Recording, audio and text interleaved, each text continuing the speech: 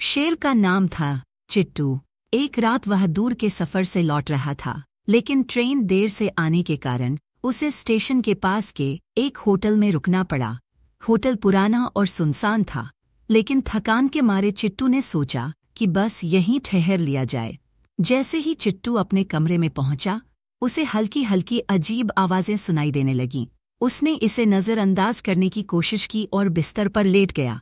रात के बीच अचानक कमरे की लाइट अपने आप बंद हो गई और अंधेरे में चिट्टू ने महसूस किया कि कमरे में कुछ हलचल है। जब उसने ध्यान से देखा तो पाया, उसके चारों ओर अजीबोगरीब भूत खड़े हैं।